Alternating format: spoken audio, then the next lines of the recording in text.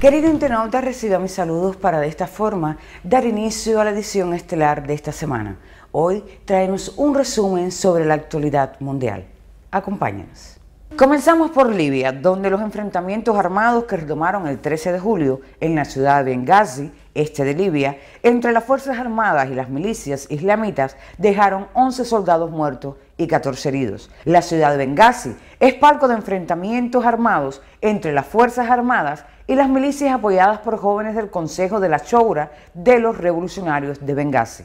En Ruanda, el Parlamento analiza una modificación de la Constitución que permitirá al presidente Paul Kagame concurrir a un tercer mandato en 2017, noticia el martes La Pana. Se trata de un debate sin gran sorpresa, ya que los parlamentarios llevarán en cuenta la petición de 4 millones de habitantes que defienden la idea de modificación de la ley fundamental. Hace una semana, más de 3,7 millones de ruandeses sobre un cuerpo electoral de 6 millones de habitantes firmaron una petición pidiendo al Parlamento para modificar el artículo 101 de la Constitución que limita los mandatos presidenciales en dos sucesivos. El presidente ugandés Yoweri Museveni, nombrado medianero de la crisis burundesa por los países de África del Este, prosigue una delicada misión en Bujumbura a una semana apenas de las presidenciales del 21 de julio, durante las cuales el presidente Pierre Nkurunziza cuenta obtener un tercer mandato. En Addis Abeba, Etiopía, prosigue la conferencia de donadores y países en desarrollo para intentar encontrar un acuerdo delicado sobre el financiamiento para un desarrollo sostenible. La reunión es precedida por el secretario general de la ONU, Ban Ki-moon.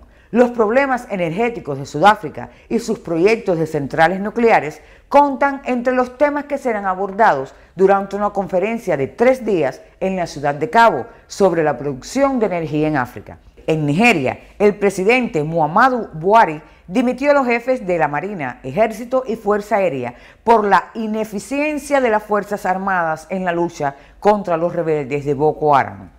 El comando militar nigeriano ha sido objeto de críticas por la forma como responden a los ataques de Boko Haram iniciados hace más de seis años y que ya causaron más de 15.000 muertos y el abandono de casas a más de un millón y medio de personas.